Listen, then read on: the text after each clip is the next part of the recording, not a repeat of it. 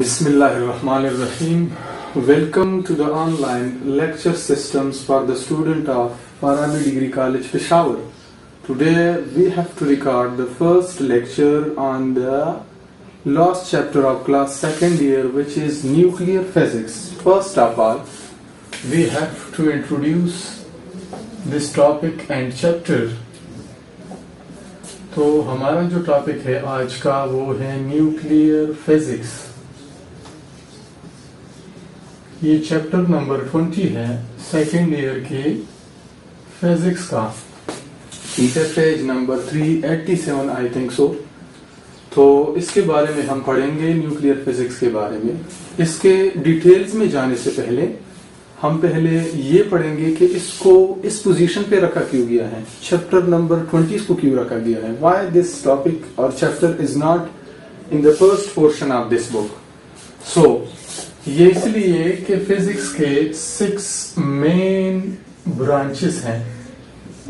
Physics के छह main branches हैं, जिसमें उसका पहला ब्रांच है क्लासिकल मैकेनिक्स जिसको हम न्यूटोनियन मैकेनिक्स भी कहते हैं। दूसरी ब्रांच इसकी है फिजिक्स की ऑप्टिक्स और जो थर्ड ब्रांच है वो है थर्मोडायनामिक्स फिजिक्स की तीसरी बड़ी ब्रांच जो है, वो है थर्मोडायनामिक्स चौथी ब्रांच जो है, वो है इलेक्ट्रोमैग्नेटिज्म फिजिक्स की चौथी ब्रांच जो है, वो है इलेक्ट्रोमैग्नेटिज्म पांचवी ब्रांच जो फिजिक्स की है, वो है रिलेटिविटी जिसको एल्बर्ट आइंस्टाइन ने इंट्रोड्यूस किया था इस कंसेप्ट को फिजिक्स के इस पोर्शन को. छठे नंबर पर है क्वांटम मैकेनिक्स और क्वांटम थ्योरी चूँकि जो पहले तीन मेन ब्रांचेस हैं, ये फ़र्स्ट ईयर के फिजिक्स से रिलेटेड हैं। फ़र्स्ट ईयर के पहले छह, सात चैप्टर वो क्लासिकल मैकेनिक्स है, जिसमें हम न्यूटन के लॉस पढ़ते हैं गलीलियस की आइडियाज़ पढ़ते हैं, ठीक है? स्पीड ऑफ़ साउंड के वेक्टर स्केलर्स एटसेट्रा तो ये कैलकुलेशन हम पढ़ते हैं। तो इसके ऊपर पहले सात चैप्टर है फ़र्स्ट ईयर के, और ये चैप्टर नंबर नाइन है। फ़र्स्ट ईयर का this is the chapter number ten of the first year physics तो इसको हम फ़र्स्ट ईयर में एफ़ पार्ट वन में हम इसके डिटेल के बारे में बात कर चुके हैं।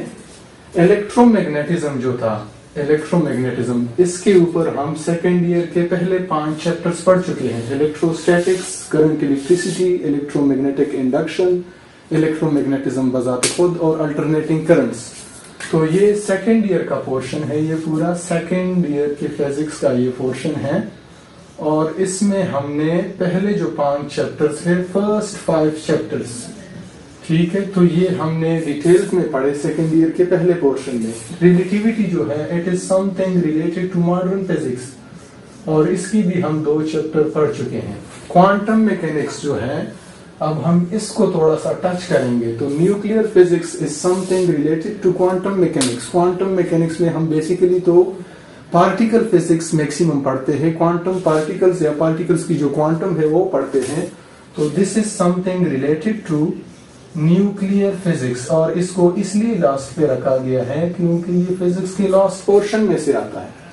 So, this is the last chapter of FPC for two, chapter number 20 nuclear physics. तो ये सिक्स मेन ब्रांचेस का आइडिया था और इसको लास्ट पोर्शन में रखने का आइडिया था जो पहला पोर्शन है, पहला जो टॉपिक है इस चैप्टर का न्यूक्लियर फिजिक्स का, वो है atomic nucleus according to smart syllabus system introduced by KP और Peshawar board due to Covid 19 तो हम जो पहला टॉपिक है वो उसका है एटॉमिक न्यूक्लियस टॉपिक नंबर 20.1 हमारा है एटॉमिक न्यूक्लियस लेकिन डायरेक्ट न्यूक्लियस की डिटेल में जाने से पहले हम कुछ बिहाइंड या बैकयार्ड कुछ दीवार की उस पर की बातें करेंगे कि किस तरह एटॉमिक न्यूक्लियस के इस आइडिया को, या सॉरी न्यूक्लियर फिजिक्स के इस आइडिया को इंट्रोड्यूस करा दिया गया, ठीक है? तो वाई न्यूक्लियर फिजिक्स शुरू कहा से हुआ? इसको इंट्रोड्यूस पहले किसने किया?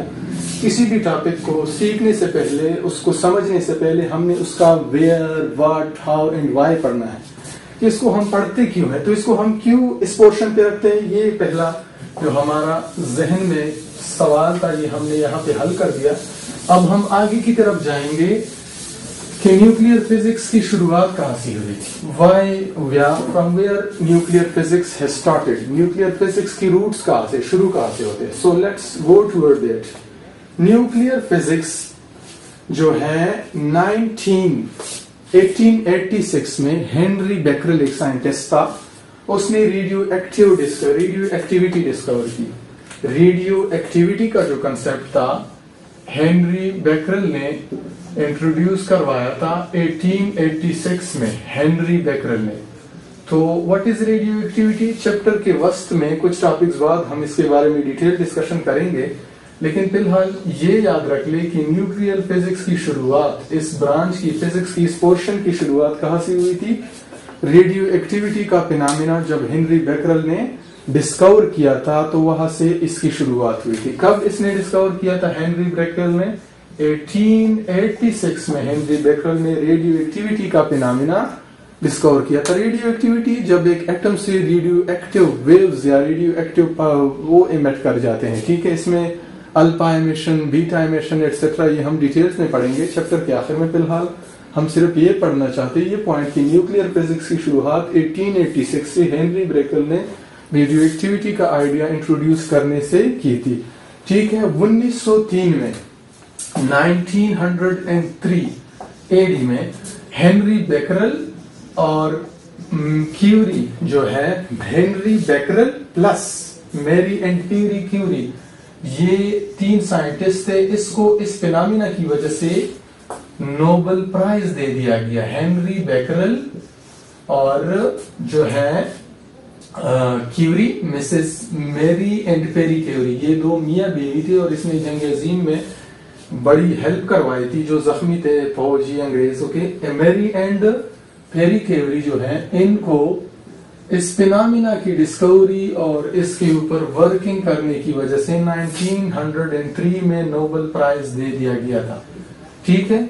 और जो फ़ेमस कंसेप्ट है आइंस्टाइन का मास एनर्जी इक्वेवेलेंस का जो कंसेप्ट है, जिसको 1905 में आइंस्टाइन ने mass energy equivalence Einstein mass energy equivalence mass और एनर्जी जो है वो आपस में इंटरकन्वर्टेबल है। एनर्जी इक्वेवेलेंस का जो कंसेप्ट था, जिसको नाइन्थ टेंथ के या मैट्रिक के बच्चे is equal to M C square के फ़ेमस इक्वेशन से जानते हैं तो इसका आइडिया भी माइनर टच हेनरी बेकरल ने दिया था। बाद में आइंस्टाइन ने आके इसके ऊपर further details discover or prescribe की थी, ठीक है? तो इसका आइडिया मास एनर्जी इक्विवेलेंस का आइडिया भी हेनरी बेकरल ने किया था। सो न्यूक्लियर फिजिक्स जो है, कहाँ से शुरू हुआ था? हेनरी बेकरल की रेडियो एक्टिविटी के पिनामिना से डिस्कवर हुआ था, ठीक है? अब न्यूक्लियर फिजिक्स जो है, इसको आप लोगों ने एटॉमिक फिजिक्स और पार्टिकल फिजिक्स के साथ कंफ्यूज करने नहीं देना, ठीक है? इसको उन टर्मिनोलॉजीज को क्योंकि what is particle physics and what is atomic physics atomic physics जो है why nuclear physics is different from atomic physics या न्यूक्लियर फिजिक्स का जो जगह है, जो एरिया है, जो रीजन ऑफ़ डिस्कशन है रीजन ऑफ़ स्टडी है, उसको आप लोगों ने एटॉमिक फिजिक्स और पार्टिकल फिजिक्स के साथ कंफ्यूज नहीं होने देना है, ठीक है? क्योंकि एटॉमिक फिजिक्स में हम पूरा एटम पढ़ते हैं। और हमें पता है कि एटम का जो सेंट्रल पार्ट होता है, उसको हम न्यूक्लियस कहते हैं। और इसका जो आउटर पार्ट होता है, इसको हम शेल कहते हैं, ठीक है? तो शेल में एटम के इलेक्ट्रॉन्स है और इलेक्ट्रॉन जो है, ये एक एटम दूसरी एटम के साथ शेयर करता है, जहाँ से मोहब्बत की दास्तान शुरू हो जाती है। तो इसलिए एटॉमिक नंबर और सॉरी एटम की जो प्रॉपर्टीज़ है इलेक्ट्रॉन्स की वजह से टोटली चेंज हो जाते हैं। सो so, आप लोगों ने न्यूक्लियर फिजिक्स को एटॉमिक फिजिक्स के साथ कंफ्यूज या मिक्सअप नहीं करना because atomic physics is totally about the total atom ठीक है आप एन एलिमेंट और whatever it is something ठीक है तो एटॉमिक फिजिक्स जो है ये टोटल एटम के बारे में और एटम में सिर्फ़ न्यूक्लियस नहीं है वहाँ पे शेल भी है शेल में इलेक्ट्रॉन्स है और इलेक्ट्रॉन्स के अदर प्रॉपर्टीज़ है डिफरेंट स्पेक्ट्स है डिफरेंट कैरेक्टरिस्टिक्स है। न्यूक्लियर फिजिक्स में हमने सिर्फ़ न्यूक्लियस पढ़ना है। Nucleus what is nucleus nucleus is the central portion of atom atom का जो सेंट्रल पार्ट है, इसको हम क्या कहते हैं? न्यूक्लियस कहते हैं, जहाँ पे दो मशहूर जमाना बदमाश पार्टिकल्स न्यूट्रॉन्स और प्रोटॉन्स पड़े हैं। ठीक है तो एटम में सॉरी न्यूक्लियर फिजिक्स में हमने सिर्फ़ न्यूक्लियस पढ़ना है, जिसमें न्यूक्लियस न्यूट्रॉन्स और प्रोटॉन्स है और इसको कंबाइनली हम न्यूक्लियॉन्स भी कहते हैं, ठीक है? न्यूट्रॉन्स और प्रोटॉन्स जो सेंट्रल न्यूक्लियस में पड़े हुए हैं, इस दो पार्टिकल्स को कंबाइनली हम न्यूक्लियॉन्स भी कहते हैं। तो न्यूक्लियर फिजिक्स में हम सिर्फ़ न्यूक्लियॉन्स पढ़ेंगे, जबकि एटॉमिक फिजिक्स में हम न्यूक्लियॉन्स के अलावा इलेक्ट्रॉन्स भी पढ़ेंगे, और इलेक्ट्रॉन्स शेल का पोर्शन है दैट्स आउटर रीजन ठीक है? पार्टिकल फिजिक्स में हम फिर हेड्रॉन्स लिप्टॉन्स मुख्तलिफ़ किस्म के दूसरे पार्टिकल्स भी पढ़ते हैं, न्यूट्रॉन्स और प्रोटॉन्स के अलावा। तो ये भी समथिंग डिफरेंट है फ्रॉम न्यूक्लियर फिजिक्स इसमें फिर और किस्म के मुख्तलिफ़ पार्टिकल्स आ जाते हैं जो बहुत ज़्यादा किस्म के पार्टिकल लेटेस्ट डिस्कवर हो रहे हैं, ठीक है? तो वो फिर पार्टिकल फिजिक्स के जमरे और हिस्से में आते हैं। So this is a separate topic separate thing ये अलग चीज़ है। दिस इज़ आल्सो सेपरेट हमने न्यूक्लियर फिजिक्स में सिर्फ़ एटम की न्यूक्लियस में पढ़ना है, जिसको हम न्यूट्रॉन्स और एटम की न्यूक्लियस में क्या है? न्यूट्रॉन्स और प्रोटॉन्स चलो जी। अब हम पढ़ते क्यों हैं? इस पूरे न्यूक्लियर फिजिक्स का फ़ायदा क्या है? ठीक है? Application of nuclear physics nuclear physics का फ़ायदा क्या है? एप्लीकेशन ऑफ़ न्यूक्लियर फिजिक्स इसके चार बड़े फ़ायदे हैं। ठीक है? न्यूक्लियर फिजिक्स इतना हम क्यों अपना दिमाग और सर कपाते हैं? इसको हम पढ़ते क्यों है? तो इसके चार बड़े फ़ायदे हैं। सबसे जो पहला फ़ायदा है वो है न्यूक्लियर पावर न्यूक्लियर पावर जो है, आजकल एटॉमिक बम या न्यूक्लियर एनर्जी हम कहा से हासिल करते हैं? एटॉमिक बम से तो ये हम पावर के लिए इलेक्ट्रिसिटी बिजली के लिए भी पढ़ते हैं, उस रिसोर्सेज के लिए भी पढ़ते हैं। ठीक है तो सबसे पहला एप्लीकेशन न्यूक्लियर फिजिक्स का है, वो न्यूक्लियर पावर बिजली इलेक्ट्रिसिटी एनर्जी ठीक है? दूसरी नंबर पर जो है न्यूक्लियर वेपन्स आजकल वेपन्स और असलहे का दौर है मॉडर्न एंड लेटेस्ट वेपन्स और टेक्नोलॉजी का दौर है तो न्यूक्लियर वेपन्स जो है, वो हम न्यूक्लियर फिजिक्स को पढ़ के, इसको समझ के, इसके इंफॉर्मेशन और एडवांटेजेस को यूटिलाइज करके हम न्यूक्लियर वेपन्स में अपनी चेंजेस करा सकते हैं। तीसरे नंबर पर है मेडिसन आजकल न्यूक्लियर मेडिसन है, जिसके थ्रू हम मुख्तलिफ़ बीमारियों की इलाज कराते हैं, ठीक है? रेडियो एक्टिव एलिमेंट्स या various therapist therapy type elements और मेडिसिन हम यूज़ करते हैं मुख्तलिफ़ किस्म की बीमारियों की इलाज के लिए और सबसे बड़ा एम आर आई जिसे हम मैग्नेटिक रेजोनेंस आजकल जो अस्पतालों में होती है मैग्नेटिक रेजोनेंस इमेजिंग तो ये किस चीज़ की बेसिक है? ये किस चीज़ की एप्लीकेशन है? न्यूक्लियर फिजिक्स के। सो न्यूक्लियर फिजिक्स को हम इसलिए पढ़ेंगे क्योंकि इसके बड़े फ़ायदे हैं। Nuclear power nuclear weapons nuclear medicine and magnetic resonance imaging ठीक है?